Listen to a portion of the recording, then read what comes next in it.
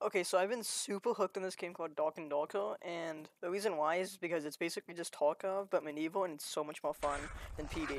Like, legit just stopped playing PD and stopped uploading, as you can see by my uh, bad upload schedule, you know, you know.